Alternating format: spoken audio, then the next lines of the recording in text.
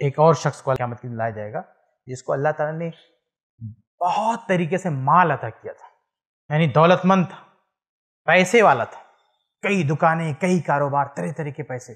अल्लाह ताला अपनी नेमत याद दिलाएगा, बोलेगा, दुनिया में तुझको ये सब दिया था, क्या किया? कहेगा, बहुत काम किया मैंने, इतने राशन बांटे, इतने लोगों की मदद की, इतने लोगों के घर बनवाए, ये किया, वो किया बहुत गिनाएगा। अल्लाह ताला कजब तो झूठ बोल रहा है।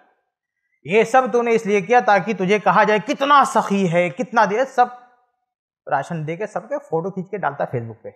ऐसे आदमी को घसीट के जानने में फेंका जाएगा, ऐसे बदमाश आदमी को। जो हदीस में है ना, लियोकाल ताकि कहा जाए कि तो बहुत खैरात करने वाला है।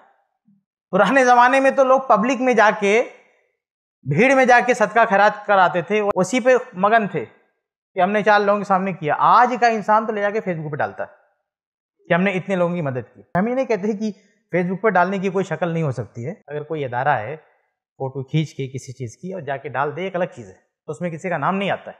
ये बताने के लिए कि हम काम कर रहे हैं, ताकि लोग ताउन करें। उसकी शक्ल क्या हो सकती है? आप सामान का फ़ोटो खींच दो, जाके फेसबुक पर डाल दो कि भाई, ये कुछ लोगों की मदद से एक काम हो रहा है तो उसमें आपका नाम नहीं आ रहा है। इदारे का नाम, इदारे का नाम मतलब किसी का नाम नहीं है। ये शक्ल हो सकती है लेकिन एक शख्स अपने नाम से जो मालदार आदमी है, वो अपना खड़ा रहे और बगल में गरीब आदमी को खड़ा करे, और ऐसे उसके हाथ में 500 की नोट थमाए, उस तरह से वो पकड़े, इस तरफ़ से ये पकड़े, और फ़ोटो खींच। डाल रहे फेसबुक पे, ये क्या? आज 500 की नोट देके अपनी तस्वीर फेसबुक पर डालना, अल्लाह ताला क्यामत की उसको घसीट के जानने में डाल देगा। ऐसे ही फ़ायदेमंद इस्लामिक वीडियोस देखने और मनहज सलफ़ पर किताब सुन्नत की तालीमत को आम करने में हमारा ताउन करें, ताकि आपके लिए ज़रिया नजात, जन्नत के हसूल का सबब, साथ ही माल में बरकत व इजाफे का ज़रिया भी बने। आमीन। जजाकल्ला खैरन।